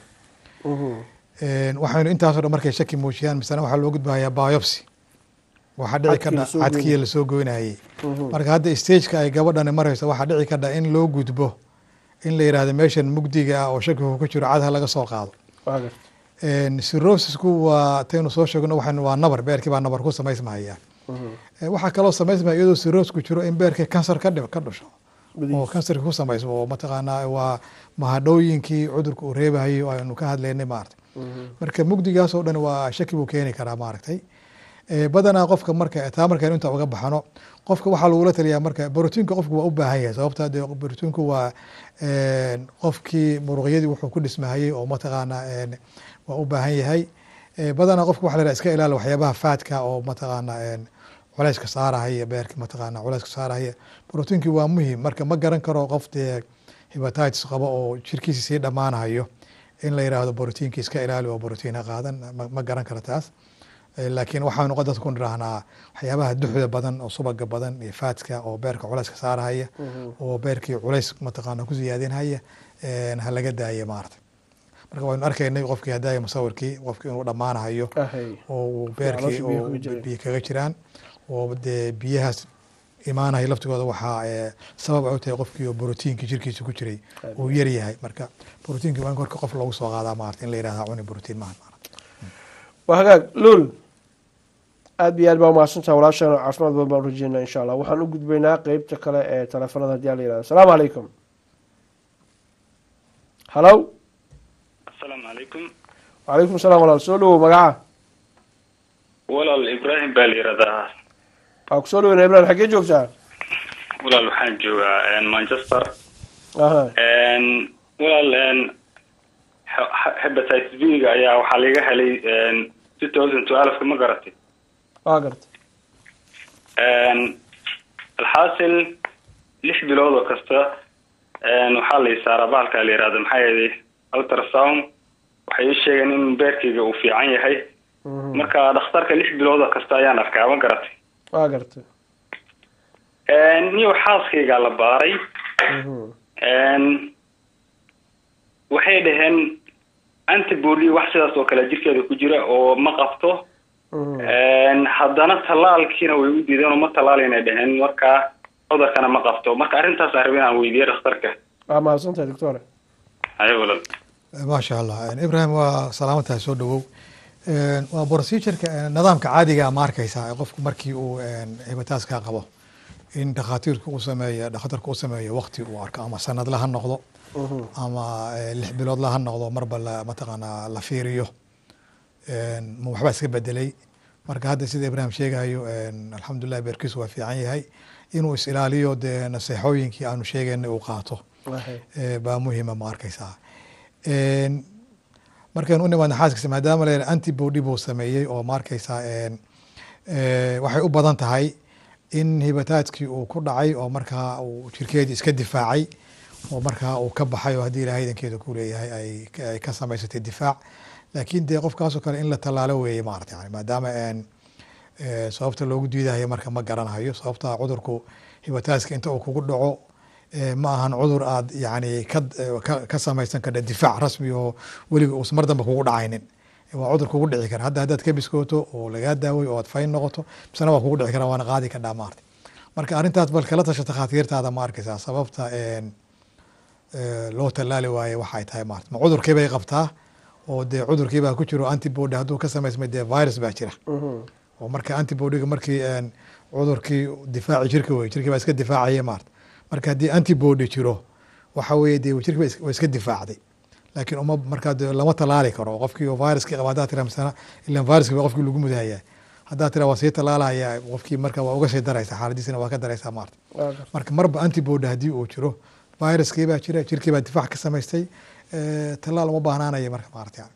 Waa garta ibraahim aad baa umahadsan tahay kheyr baan ku rajeynaa qayb qaadashadan kaaga mahad celinayna waa hagaag. Weli waxaad nagala socotaan t v-ga universal xaruntiisa dhexe magaalada london dadkiina doonaya dhakhaatiirta walking clinic inay helaan nambaradooda iyo ciwaankooda. Marra baan idiin soo daynaaba laakiin waxaan jeclaa ka hormariya laba telefon asalaamu calaykum hallo halo asalaamu calaykum wacalaykum assalam raxmatullah soo dhowo walaal magaca? Magacayga hadlay shukri waxaan ka soo hadlaya london. Soo dhowo shukri. Barnaamijka waa la socotay? Ha aada ula socda barnaamijka. Barnaamij aada u fiican waana mahadsan tihiin aad baan ku soo dhaweynaa walaal soo dhawow walaal daktarka waxaa inaan weydiiyo. Anoo yaroo hadda kahor cagaar cagaarshooga ugu dhacay. Maxay too marka anigu waa xanuunsan si hadi hadda waxba xanuunsan baryo hooyadii marka waxay ku dhahda waxaa qabta cagaarshooga indhahaaga cagaar aa laga dareemaa u gartaa marka waa laiga gubay aniga wax daawaa ma lay siinin. Marka daawadu ma la dhihi karaa dadkaas waxba u daaweeyaa. Taasa raba inaan daktarka weydiiyo sidoo kale macnaha familkeena dhan hadda waalahee dhan waa laga wada gubay macnaha waxaasa dadkaas ba unbaa aa lagu daaweeyey marka taasaan raba inaan daktarka weydiiyo. Aad baa umahadsan tahay. Maasha allah shukur waa salaaman tahay. Waa waa su'aal muhiima taas waxa weeye soomaalida waynu arki jirnay dad inta cagaarshow ku dhaco gacmaha laga gubo ma ama caloosha ama maarteen hadhowna la yiraahdo cagaarshowga waa ka baaba'ay maarata arrintaas ma ahan arrin ma cilmi ah oo sax ah. Cagaarshowga sidaynu u sheegnay waa noocyo badan yahay keenu caawa ka hadlaynay waa b iyo c. Waxaa jira cagaarshowga e midka la yidhaahdo oo isagu soomaaliya ku badan waqtiyada roobabka oo kaleeto iyo ma arkaysaa oo layskana tallaalo oo tallaal buu isagu leeyahay. Kaasoo kale dadka marka uu ku dhaco isagu mahadhow weyn qofka uma geysto. Jirkuna waa iska difaacaa waxaa dhici kadha marka intuu qofka cagaar u sameeyo indhihii cagaartaan saddex usbuuc afar usbuuc kabacdi qofka inuu iska fiicnaado isagoon dab iyo waxba lagu samaynin. Marka waxaa dhici kadha isagoo inta qofkaas hibatatis eeg uu ku dhacay cagaarshow indhihii yeesheen dabadeed la gubay inuu iska fiicnaaday. Laakiin ma ahan dabku daawo uma ahan markaysa dabku marka daawo uma ahan. Waxayna u badan tahay noocaas eega ma arkaysa oo inta qofku cagaar indhuhu noqdaan kadibna iska baabaahayo qofkiina mahadho dambe muddo yarhaynay mahadho dambena aan ku reebaynin waana la iska talaala kaas talaal buu leeyahay maarta hagaag shukri aad baa umahadsan tahay. Waa hagaag. Qof kale ku xigay asalaamu calaykum halo a soo dhow walaal magacaa magacayga waxaa la yihahdaa maxamed salaad. Cali salaad. Maxamed salaad maxamed salaad. A maxamed soo dhow raali noqo. Waa idin salaamaya adiga iyo doctoorkaba aa ku soo dhaweyn nacam oo kaa qaadnay ahaa waxaan rabay waxaan ka soo hadlayaa magaalada blackburn ee dalka ingiriiska. Blackburn. A soo dhowo waxaan rabay laba su'aala doctoorka inaan weydiiyey isaga isagoo raalli ah. soo dhowo brother soo dhowo a su'aasha koowaad fariskan macnaha horta cagaarshowga macnaha waa hadda ka hor baan nina walaala nahay ba ayuu ku dhacay oo waxaan arkay macnaha in kaadida uu cagaar ka dhigayo indhaha calaamadihiisu ay ka mid yihiin kaadida cagaar ka dhigo indhaha cagaar ka dhigo. Marka variskan ma varis macnaha sida hergebka oo kale macnaha qofka iskaga dhaca oo dabeesha wadaa mase waa wax macnaha sida cudurkan malariada oo kale malaariyada keeno. Halkaas su'aal ba taas su'aashaas koowaad waa qodobka koowaad. Su'aashayda labaad waxa weeye doctoorku waxaan raba inaan weydiiyo viruskan soomaalidu adduunka iyo aakhirada seejiyey isaguna oo macnaha oo ah macnaha qabyaaladan adduunka iyo aakhirada seejiyey oo oo caalamka ka reebay oo dawlad dawlad dawlad la'aan dhigay oo adduun iyo aakhirad seejiyey ee qabyaalada ah. Isagu sidee uga bixi looga bixi karaa? Daawadiisu maxay tahay? Labadaas su'aalood baan rabaa doctoorka in maarata bal iyo wax iiga qabo maxamed khayr allah ku siiyo. Waa arrin muhiima arrintaas labaada ka dhawaajisay laakiin waxaan qaadanaynaa su'aashaadi koowaad oo mawduuceena qusiisa caawa waa mahadsanta doctore maxamed salaad aad iyo aad baad u mahadsan tahay. Arrin muhiimana waad ishaartay horta viruskan ma ahan sida hargabka oo kaleeto. Waxa weeyaan waa saynu ka soo sheekeynaynay caawa oo dhan oo waxa weeye waa noolahaas yar oo dhiigga circulationka marka oo kale beerka mataqaanaa dhibaateynahaya halkaana ku fidahaya oo ku tarmahaya dhibaatadiisuna halkaas ma arkaysaa. Dhaawac ugu weynna beerka gaarsiiya ma arkaysaa. Ilaa qofku ma arkaysaa ama uu ku dhinta ama maarata yani mahadha uu ku reebo maarata laakiin arrintan muhimka oo uu sheegay waxa weeyaan qofku indhihii cagaar bay noqon hayaan. Kaadidiina waa isbedeleysaa oo waxay noqonaysaa sidii shaah oo kale ama kafeeg oo kale u ekaanaysaa.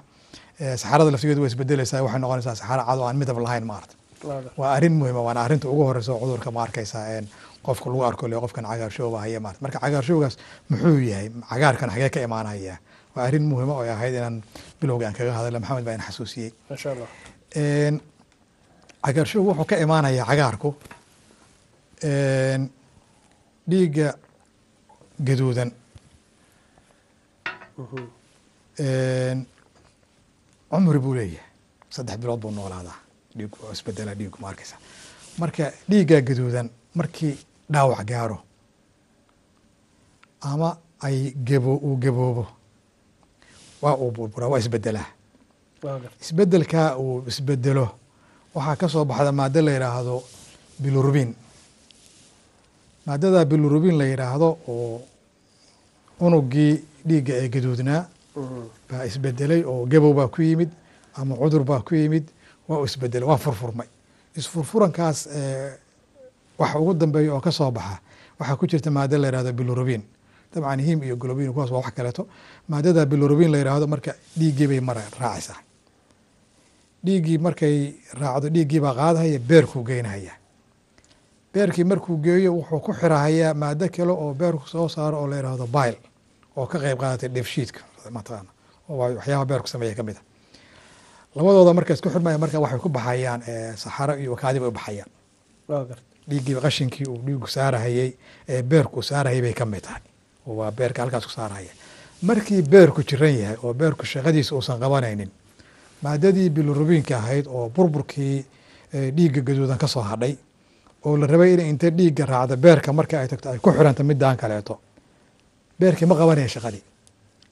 Maadadii marka bilurubinka ahayd oo la jirka in laga saaro wareegii dhiiggay gelaysaa wareegii dhiigga markay gasho ayay soo saaraysaa waxaynu arkayno.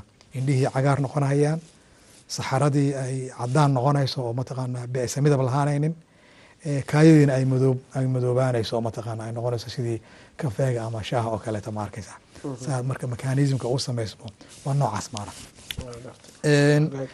masaladan kaloo ugu dambeyso oo maxamed uu ka hadlo waa qabyaaladda dee waxaan oranaya waxaynu ku soo khatimaynaa xadiiskii nebiga oo caleyhi salaatu wasalaam uu lahaa dacuuha fa inahaa muntina ka taga qabyaaladda qurun weeye iyo baktiya ma arkaysa taasaa inooga filan baan u malaynaya maarata aad iyo aad boqolkiiba boqol waa asiibtay masha allah waa hagaag.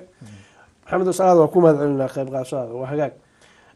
Waxaan jecelahay inaan hal qof fursad siiyo intaanan soo daynin xayisiinta walking clinic iyo macluumaadkooda. Meesha laga hela dhakhaatiirtan soomaalida ah insha allahu tacaala iyo kuwa ajnabiga la shaqeeyaba hal qof aan fursad siiyo. Asalaamu calaykum calaykum asalaam asalaamu calaykum calaykum asalaam walaal. Soo dhawow magaca walaal amaal baa la yidhaahaa waxaan ka soo hadlayaa liverpool. Soo dhawow amal waa la socotay barnaamijka? Ah, waan la socday adiga iyo doctoorkaba waan idin salaamayaa aad baan ku soo dhaweynaynaa waxa su'aal baa weydiinaya doctoorka soo dhawow dhiig baa layga qaaday doctore. Dabadeedna waxay dhiigga markii hore caloosha ay xanuunto caloosha igaga sheegeen xanuun. Dabeedna dhiig bay iga qaadeen dhiiggiiba waxay ku yidhaaheen waxaa lagu arkay in yar oo barar ah halka sare ee beerka marka wax dawaanay maysiin iyaguna waxay markii ka dhigayeen waxaan sii ridnayn oon dhibaato lahayn. Ayay ka dhigayeen. Aniga qudhaydu maan sii weydiin oo maan odhan maxaa keenay iyo ma weynaan karaa iyo xanuun ma yahay. Waa gartay marka waxaan rabaa doctoorka ma inuu dhiig bal baa ma sharaxo dhiig baa laga qaaday mise iskaan baa lagu saaray may dhiig bay iga qaadeen walaalo dhiig haddee barar laguma arki kara beerka. Dhiigga iyagu waxay yidhaaheen barar baa jira xagga sare ah caarada xagga sare beerka. Bararka walaal waxaa lagu arki karaa markii iskaan la saaro ee beerka la arki karaa ama ultrasound. Laakiin dhiiggu wuxuu kutusahayaa dhiigga hormoonadii mataqaanaa iyo beerku insaamada uu soo saarahayey ee, dhiiggii virus inuu jiro oo mataqaanaa cudur uu qabo laakiin dhiigga uu kutusi maye barar isagu ma arkaysa marka ma si kale lagugu sheegay? Bay walle sidaasun bay iigu sheegeen Ah, marka walaal la xiriir ee, dhakhaatiirtaada anigu hadda ma garan karo barar dhiigga laga arkayo haddiise lagu yiri dhiigga wax ku jiraan oo wuxuunbaa dhiigga laga arkay khalad ah ha. Dee marka waxay noqonaysaa kulley mar walba dhakhtarkaaga inaad ku noqoto aad la tashata maaragtay oo aad si fiican u weydiiso aad tiraahdo maxaa la igu arkay oo la igu sheegay maaragtay? Insha allah Ah.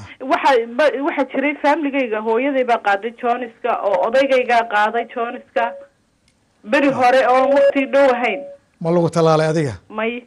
Hay markaa dee inaa istallaasho wey haddii odagu u qabo waa inaa istallaasho may hadda ma ahayn. Ah, xaq waa muqdishay waa. ahayd waqti horey ahayd marka dee isbaaro haddii aadan qabin ha lagu tallaalo haddii aad qabtana markaa takhaatiirta la soco oo talada iyo waanada markaa takhaatiirtu kusiiyaan qaada maaragta insha allah waad mahadsantihiin. Waa hagaag aad baa umahadsantahay amaal waxaan jeclahay farsamo yaqaanadeena ka codsanayna inay noo soo daayaan eh, walking clinic dhakhaatiirtan macluumaadkooda iyo ciwaankooda si laga helo. Maadaama aynan dadkiina aan horey u arkinin ay maaragtay aanu jecelnay inay arkaan si aysan maaragtay noo soo weydiin oo odhan xagee laga hela macluumaadka daawasho wacan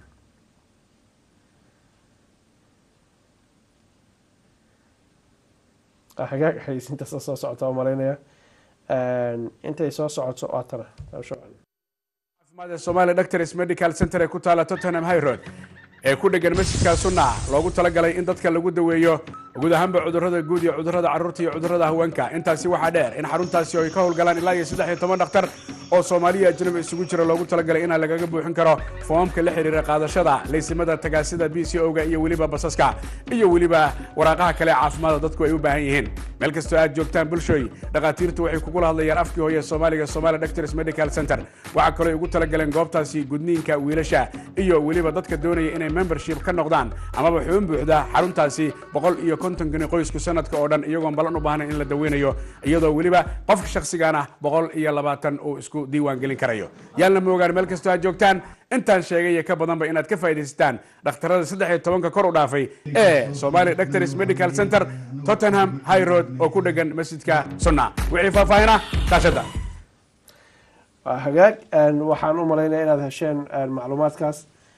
Dhakhaatiirta haddana waxaan jeclaan inaan u gudbo khadadka kale oo teleefanada intaanan u gudbinin tallaalada kala duwan iyo daawooyinka iyo maaragtay sida dhakhaatiirtu ay maaragtay oola dagaalamaan xanuunkaas iyo waxa uu xalku yahay insha allahu tacaala. Qof kale oo ku xigay salaamu calaykum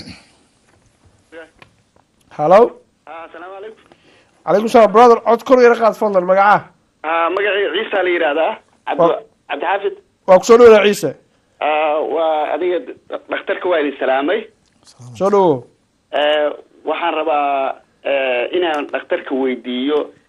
Waxaa layga sheegay cudur oon oo laygu sheegay cudurka hepatitis b-ga muddo adiga laba saddex sano kaniiniaan qaataa waa garta. Saddexdii biloodna dhakhtar specialistaan la kulmaa. Marka wuxuu yidhahdee kaniiniga marka hore oo laygu sheegay laba kaniiniyaa lay siiyey. Kadibna waxaa dhacday sanad kadib xabad kamida kaniini waa layga joojiyey. Mid eh, hal kaniiniyaa laygu soo reebay. Marka waxaa la yidhi kaas forever waa qaadane marka hore levelka oo laygu sheegay level ahaan waxaa la yidhi markii aan sanad joogay waa dagaa la yidhi normalkiisu ku soo noqday difaacaagii waa kaniinigu waa waa shaqeeyey jirkaaga uu la shaqeeyey. Marka waxaan xoogaa keliya aan rabaa dhakhtarka inaan weydiiyo dawo oo wakti kooban oo la oo qaato oo baabi'ida mase da- oo kan oo hadda uu leeyahay dhakhtarku forever qaadane inaan dhakhtarka uu iiga bal su'aale inuu iiga iiga jawaabo eh, inuu wax iiga sheego insha allah hagaag ciise waa mahadsantahay aad iyo aad? Masha allah ciise waa salaaman tahay. Waa waa arrin muhiima een- een, horta inaynu mid ogaanaa muhiima oo ah daawadan qofka la siinahayo oo qaadanayo ma ahan eh, in cudurkii uu ka tegayo uu qofka ka biskoonayo totaali uu fayn noqonahayo oo waxba dambe aysan jirin. Ee waxaa weeye cudurkii baa la kontroolhaya waa la xakameynhayaa inuu dhibaato qofkii u geeyo. Uusan fidin. Oo damagekii dhaawacii uu geystay markii hore wax ka badan inuusan geysan oo halkaa lagu xakameeyo. Viruskii baa lala dagaalamaya inuu fido laakiin waxa qofkii cudurkii ka wada qaadahaya oo completely oo qofkii marka uu ka biskoonahayo ma ahan. Sidaa hadda ciise sheegayna waxa weeye dii daawada u shaqeysay marka waxaa la leeyahay daawadii waa shaqeysay waa fiican tahay. Viruskiina way kontrooleysaa wad haddii la joojiyo viruskii waa soo noqonhaya maarkaysa waana fidahaya maarata marka saa saa weeye maarata yani. Daawo marka completely ma jirto maarata waa hagaag. Mahadsantahay ciise aad baan kaagu mahad celinayna su'aasha kale hay ciise. Ah. Ah, ciise. Ah. Soo dhawo ah may kaniiniga aan qaato waxaan rab waxaan rajeynaa eh, kono eh, whatsappkaaga hadda ku soo diray magaceeda. Marka hadday ku suuragal tahay dhakhtarku inuu iiga jawaabo oo yidhaha daawadaas magaciis magaciis magaciis whatsappkaaga hadda ku soo diray marka magaca haddaad fiiri kartiin magaceeda bal inuu wax igu sameeyo daawadaasaan qaata whatsappka aniga kayga ha. Waa gartay waa waa gartay mooday waa gartay whatsappkaaga oo- waayahay bal dhakhtarka u gudbin insha allahu tacala aad baan ku mahad celina ciise waa mahadsantahay ciise waxaan jeclay inaan u gudbo qof kale oo ku xiga asalaamu calaykum hallo calaykum assalam raxmatullah soo dhow walaal magaca? Uma faatixa beriis waa gartay eh, soo dhowo umu eh, maxaa jecesha dhakhtarka inaad weydiisid dhakhtarka waxaan rabaa inaan weydiiyo walaalow waxaa laygu sheegay beerka inuu ibararay waa gartay. Beerka waxay yidhaahdeen dhiig bay iga qaadeen. Dhiig markii la iga qaadeen waxay yidhi beerka waa ku weyn yahay. Wuu ku bararay. Hay. Iskaana lay saaray iskaankii waxba ma sheegin laakiin dhiiggaa wuxuu sheegay inuu beerkii weyn yahay uu ibararay daawooyin ay ii qoreen fitness la sameeya yidhahdeen xoogaa sports on orada dhaqaaqiya samee dib dambena uguma noqon ma aqaano marka. Marka maxaa ugu noqon weyday ma ka buskootay? Ma dhibaatadii kaa tagtay? Weli waa maya wallaahi waxba kama biskoon daawooyinka kidniga ii qoreen weli qaata. Waa gartay. Eh, marka daawada weli ku socota daawada ii socotaa marka daawadii wax ma isaga garatay? Daawada waxaa ku fi haddaan cunin waxaan dareemaya xanuun zaa'ida markaa cunti laakiin daawada ku alxamdulilah aad baa umahadsantahay mufaataxa doctor? Mufaataxa iyo dhammaan dadka daawadayaasha cudurkan qaba. Een, waxaa muhiima inay ogaadaan ma arkaysaa cudurkan viruska aynu sheegaynay inuu yahay cudur qofkuusan dareemeynin ilaa uu ka gaaro inuu qofku mataqaanaa calaamada yeesho ama ma arkaysaa uu markaas yahay xaalad dambe oo mataqaana cudurkii uu fiday oo xoogeystay oo jirka uu dhibaateynaya maarata marka mar walba waxaa fiican oo aan eh, daawadayaasha iyo mataqaana kula talinhayaa takhaatiirtooda inay la xiriiraan taladoodana qaataan iyaguna aysan istakhtarin. Oo qofka markii takhtar uu mataqaana daawadiisu inuu ama iska joojiyo ama qaadan waayo ama dib ugu noqon waayo ma arkaysa Ta- ba- waxaa muhiima dhakhtarka iyo bukaanku inay wada socdaan xiriir fiicanna leeyihiin ma arkaysa aad iyo aad waa gartay waa mahadsantaha umu waxaan jeclahay insha allah inaan u gudbo qof kale fursad siin asalaamu calaykum hallo asalaamu calaykum calaykum calaykum assalam raxmatullah soo dhowo walaal magaca? Hala ah waa ku maqlaa magaca soo dhowo ha magacayga nimca la yidhahdaa. Nima xaggee joogtaan ee london. Waa ku soo dhoweyna walaal barnaamijka waa la socotay? Soo dhowo waa maxay su'aashaada? Walaa anigoo yar baa igu dhacay maaragtay beer xanuunku. Mhm. nimca taleefonka nagala soco fadlan. Ha dabeetana anigoo yar buu igu dhacay. Maxaan idhaahdaa waan xanuunsan jiray. Waan dhici jiray saan dariiqa u mariyaan dhici jiray.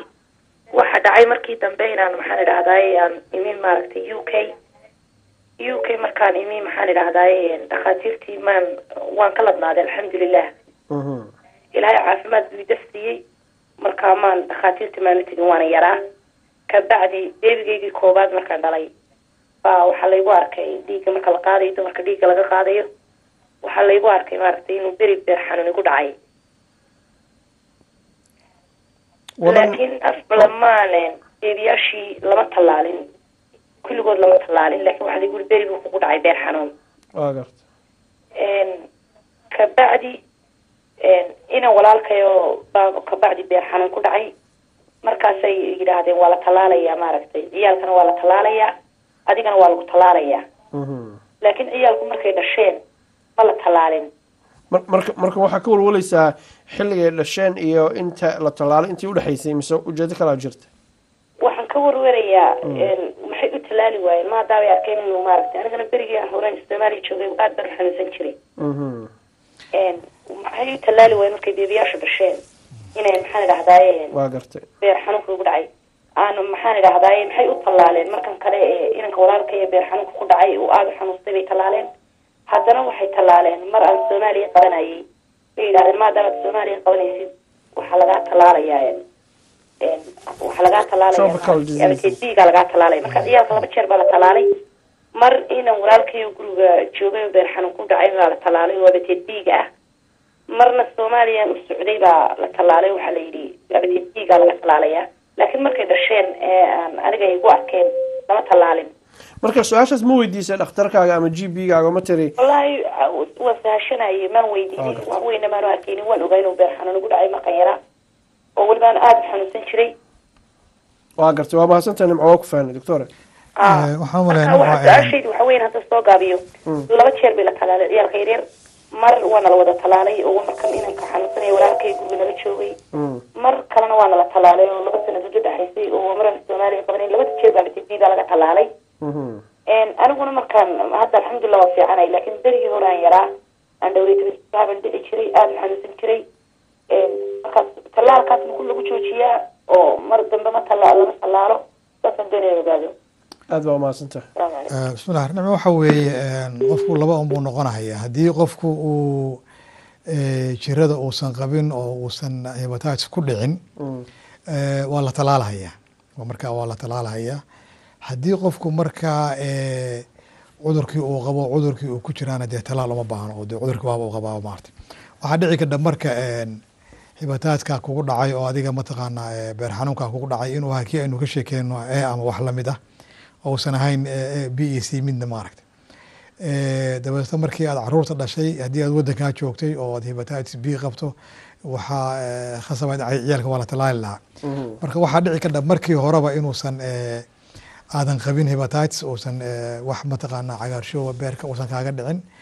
Eh, waxaa u daliila hadee markii aad soomaaliya aadeyna waa lagu talaalay Eh, markii eh, inanka walaalkaaya eh, laga helayna caruurtao dhan baa la talaalay maar marka waxay u badan tahay eh, inaadan markii horeba aadan qabin eh, hepatitis b ee wixii kugu dhacay uu ahaa e ma arkaysa markaanu fiirino qaabka aad hadda noogu sheegtay maarata iyo sida howlwade- howlwadeenada caafimaadka wadankan ay arintaada wax uga qabteen ama ay eh, u farsameeyeen maarata waa gartay doctor waktigu waa gabagaba haddaan u galno xalku muxuu yahay xagee daawo loo raadsan karaa gaar ahaan dadkan hadda halkan jooga iyo su'aal muhiima oo la isoo weydiiyey. Ciise marka hore waxaan jeclay inaan kuu sheego intuu dhakhtarku hadlayay waxaan eegnay whatsappka waxaad iisoo dirtayna kuma arkin. Marka xalagaa meel kalena u dirtay dhakhtarkan su'aashaada ku weydiiyaan rabay. Saa ula soco doctor su'aal muhiima la weydiiyey dabeedna waan soo khulaasayn insha allahu tacaala. Waxaa la weydiiyey maadaama aad ka hadashay in galmadii lagu kala qaado dhiiggii lagu kala qaado ismulitaankii lagu kala qaaday waxyaalihii lamidka cadaygii garxidhi baashi garka lagu xiirinayay dadka cusub oo doonaya inay isguursadaan. Shuruudahooda inay ku daraan waan isjecelnah arooskii dhawaan buu dhacayaa laakiin jackup baan ku marinaya m o t baa lagu saaraya arrintaas waa aragta. Maasha allah arrintaas waa arrin muhima ma arkaysaa. Aada iyo aad bayna waddankan waa la sameeyaa. Soomaalidu iyaga arrintaa ka dhig wax kale u qaba maahane. Waddankan waa la sameeya labada qof ma arkaysaa markay relation sameysanayaan waa isbaaraanoo waa isa sameeyaan ma arkaysaa. Sababtoo haddee qof aadan wuxuu qaba aadan ka warqabin. Waxba kuma dersan karid dhibaatana maahan bal hadda waddankan wasaaradda caafimaadka waxay soo saartay routinely dadka mataqaanaa in looga jeegarayo hepatitis b-ga iyo c-ga iyo h i v-ga intaba maarta oo g b gaaga haddaad u tagto inuu ku yidhaahdo ma u baahan tahay makuu sameeya ama aad oran kordho marka waa arrin muhima ma arkaysa waana arrin ma arkaysaa labada qofba marka mustaqbalkoodii iyo badqabkoodiiba faa'iido waa ma arkaysa waxaan u malay inay tahay arrin ma garasho iyo ilbaxnimadu ay keenayso in qofku uu ma arkaysaa qofka wax ku darsanayo. Uu isku ogaado diin ahaanna mataqaana walaa tulquu ilaa anfusa tahluka ilahay marka inaad tahluka isku tuurino. Waxaad ogtahay aadan madax madax isku tuurino aad is ilaaliso caafimaadkaaga iyo ma iyo badqabkaaga maarta. Marka waa shay muhima maarta yani. Waa gartay haddaan g b gayga u tago ama walking clinic tomorrow morning imaado oon idhaahdo hepatitis b iyo c iyo halayga baaro xaalad waa see walking clinic haddaad tomorrow morning beri subaxii aad timaado. Waxaa dhakhaatiirta joogta ay diyaar ku leeyihiin inay hepatitis b iyo c-ba kaa baaraan balse h i v inay kaa baaraan oo isla markaas mataqaanaa daqiiqad gudaheed ay kugu sheegaan natiijada ma arkaysa inaad qabtay inaadan qabin maarta waa hagaag doctor waanadaada ku wajahan bulshada soomaaliyeed iyo mawduucan noo soo koob. Daawadayaasha soomaalida ee meel walba iga fiirsanaya waxaan ku waalinahayaa cuduradan aynu ka hadlaynay oo hurgunka beerka ama hibatiska ama cagaarshooga qofka sidoon ha u yaqaano inay yihiin cuduro aada iyo aada ugu badan mujtamaca soomaalida. Weliba wadankeenun uu yahay meelaha ugu badan oo mataqaana cudurka laga hela khaasatan hibatitis b-ga ma arkaysaa waana cudur sidaa aynu sheegnay la isqaadsiiyo galmada ama wada noolaashaha ama irbadaha ama ma arkaysaa alaabtan la kala amahanayo garka xataa shukumaanada lagu wada qubaysanayo ayaa lagu kala qaadi karaa.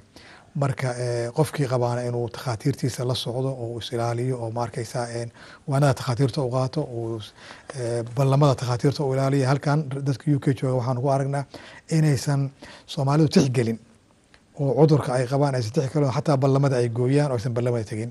Cudurkan waa cudur dilaa ah. Waa cudur aanan xanuun kugu qabanaynin aadan dareemayna isagoo aamusan buu ku dilahayaa. Hadhowna mar goor xeeriya fandhaalkala dhaceen oo waxba laga qaban karin baad ku baraarugeysaa in takhaatiirta lala xiriiro oo lala socdo oo mataqaanaa fursadaha la haysa laga faaideysto dadka halkan jooga iyo dadka beri soomaal jooga isku mid maahan qofka maanta beri soomaal jooga maba haysta waxaan. Laakiin dadkan hadda u k iyo mataqaanaa north america iyo mataqaana yurub jooga inay ka faa'iideystaan oo mataqaanaa caafimaadkaas ay ka faa'iideystaan oo caafimaadkooda adar yeelaan isbaaraan. Oo kii aan qabinina oo beri takhtarkiisa uu tago yirahda la iga baaro. Sababta ma ahan cudur aad garanayso aad leedahay calaamad mataqaanaa xagga ay xanuunaysa ama xagga ay xanuunaysa. Sida hadda aan sheegnayna gbiyadu waxay diyaar ku leeyihiin ahaan inay xataa u baaraan cudurkii maanta ma arkaysaa qofkii qabaana inuu is ilaaliyo oo waxyaabaha beerka culayska saarayo iska ilaaliyo daawooyinkiisa u qaato takhaatiirtiisa uu la xiriiro kii aan qabin inuu is ilaaliyo. Uu iska ilaaliyo oo weliba dhinaca galmada ugu muhiimsan uu qofka wax ku darsanahayo ama uu la xiriirahayo uu ogaado mataqaana waxaa dhici kadha inaad ama xaaskaaga u gudbiso ama caruurtaada u gudbiso adoon iska warqabin ama aad ma arkaysaa aad soo qaado adoon iska warqabin. Waxaan kaloo ku sii darhayaa arrinta hadda adweysan la xiriidha ragga soomaalida. Oo inta halkan ka tago afrika tago soo guursanayo xaasaskooda hore ku soo noqonaya inay ilaahay ka baqaan. Oo ay is ilaaliyaan. Oo haddii ilaahay idankeedu ku leeyahay gabadhaa hore ay u tagahayaanna ay ilaaliyaan tan dambe ay ku soo noqonayaan ay ilaaliyaan oo ah inay isbaaraan hadiiba uu guursanahayo sida hadda hadda mataqaana su'aashaad ay weydiinaysay inuu isbaaro oo haddii keysas badan baan garanhayaa oo eh, nin isagoo caafimaad qaba tegey oo reerkiisii caafimaad qaba ka tegey oo beri soomaal tegey oo soo guursaday oo kadib markuu soo noqday qaadsiiyey cudurkii eh, xaaskiisa uu halkan uga tegay markasa marka eh, eh, arrimahaas inay ilaahay uga baqaan qofkuna uu caafimaadkiisa daryeelo guud ahaan isu ilaaliya maarata dr cabdulqaadir aad baan kugu mahad celinaa walking clinic iyo adiga dhakhaatiirta kaleba khayr badan allah ku wax badan baan kaa faa'iidaysanay.